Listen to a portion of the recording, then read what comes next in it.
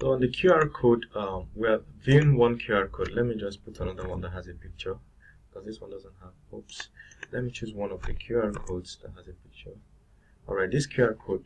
Now, if you are the owner of this QR code, the person that created it, you should be able to see all the transactions under this QR code just by looking at the bottom of the screen. So we want to import all the transactions that are connected to this QR code straight up. So we'll go to the um, QR code show fields.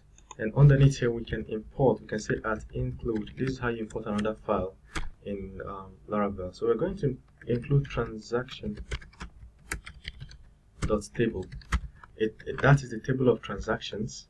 Remember that um, from here instead of writing recreating a table we are going to we are simply going to transactions folder and importing this table. This table contains a full list of transactions. Look at it. All right. So we're back here. So let's put a h3 tag a h3 tag that says um, transactions transactions done on this QR code. Okay so we can put it at the center by doing class uh, text center. Oh beautiful. Now, um, remember you can do stuff like text, um, I think default or so, to change the color of the text. So let's just go see it. It will throw an error. The reason it will throw an error is, is that inside this transactions file, if we come here, this transaction table, it makes use of a transactions um, variable that we've not declared yet. It's not present in our QR codes show field. So we're going to see an error. We're going to see an error as expected yes there's an error and it's complaining exactly of this variable. So we have to go to the QR codes controller and import the transactions variable.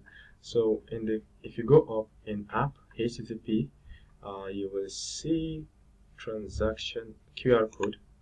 Then we're going to the show field show um, action or model uh, method. So we're going to say we're going to create the transaction variable. So we're going to say uh, transactions, remember it's plural, is equal to QR code transactions. That's it, that's all. Then we have to import it here. The reason I'm able to get away with this is that we have already created this function or this method inside the QR code model. So if we go um, from here, if we go to models and go to QR code, at the bottom we're seeing transactions, you see?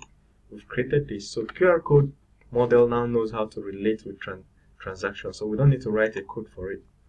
So here we need to pass in this um, variable to the view. So we'll do this with and then transactions and then transactions. Beautiful.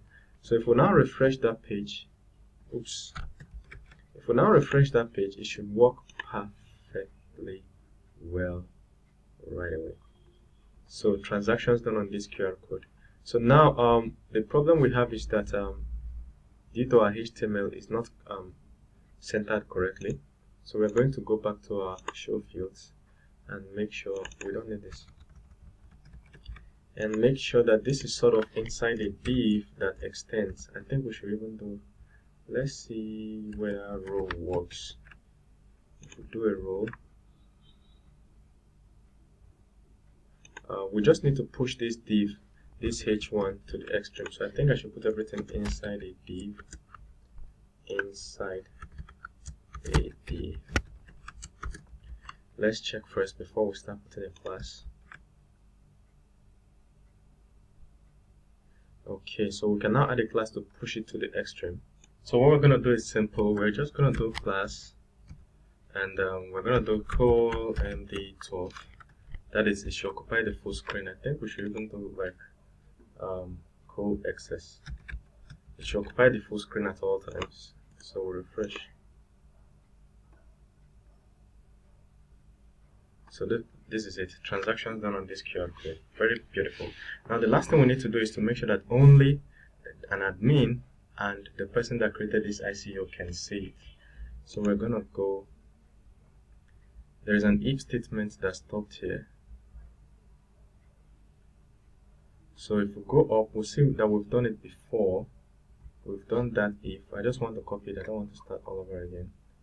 so th this is it where we did if the if is the person that's created this your QR code or the admin so we're going to copy this if statement and come to the bottom here and uh, paste it we just want only the person that created it so look at what it says the guy that created this QR code is he the one that is currently logged in or if the person that is viewing this is an admin or, or a moderator so only an admin and a moderator can see this so we're going to do end